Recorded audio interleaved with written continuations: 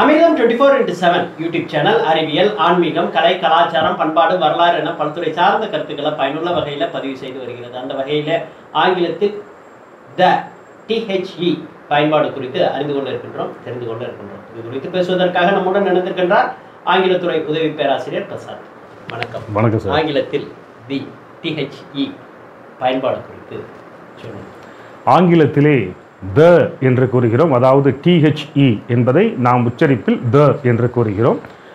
இது one of the articles என்று கூறுகிறோம்.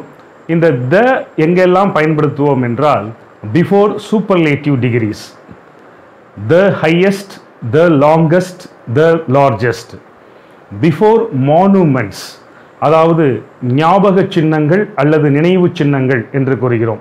த தாஜ்மஹால் த Qutub Minar the common nouns அதாவது ஆங்கிலத்திலே காமன் நவுன்ஸ் என்றால் தமிழில் பொதுவான இடங்கள். The bus stand the airport என்று கூறுகிறோம். இவ்வாறான இடங்களில் நாம் இந்த த என்பதை பயன்படுத்துகிறோம். இந்த த என்பது மேலும் பல்வேறு இடங்களில் பயன்படுகின்றன. ஆனால் பொதுவாக இவ் இவ்வாறான ஒரு மூன்று இடங்களில் நான்கு இடங்களில் இதை அதிகமாக பயன்படுத்துகிறோம்.